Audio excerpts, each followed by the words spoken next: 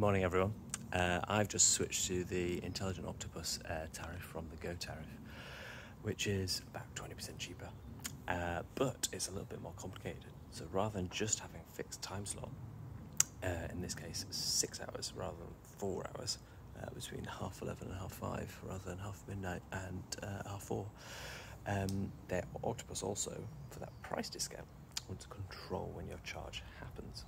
Um, and so they do that through the Internet of Things, something called OCPP, which I haven't looked up.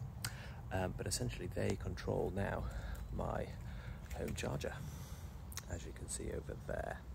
Um, and so through the internet, they tell it when to charge. Um, so one of the things you're supposed to do is once you've uh, put in all your details, switch tariff, uh, done a test charge where they test for seven minutes that they can actually do what they think. You're supposed to go into the Octopus app um, and set your charge limits. So you're supposed to set, well, well I want to be 100% by 8 in the morning because that's when my commute starts. Um, now, my Octopus app wasn't working. Um, took me a little while to reset the uh, my charger. You needed to accept that you were going to do this OCPP, uh, essentially let someone else control your charger through the internet. Um, uh, and accept the terms and conditions, then the charger needs to reset to redo the software. Um, uh, but I could never get my Octopus app to work to set these charge limits. Thankfully, they set uh, reasonable um, presets. Um, so they, the presets are by 7.30 or 7am or something that you'll be 100%. So luckily those presets just sorted me out perfectly well.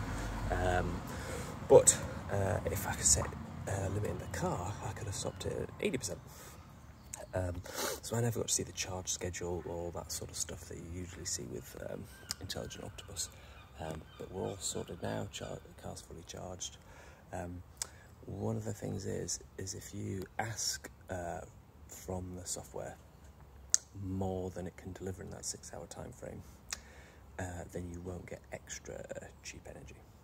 Um, so you've got to be careful that you don't um, accidentally ask for more than it could possibly deliver in those six hours uh, because it can't be achieved, and so they'll um, schedule a longer time frame, and um, it won't all be the cheap rate.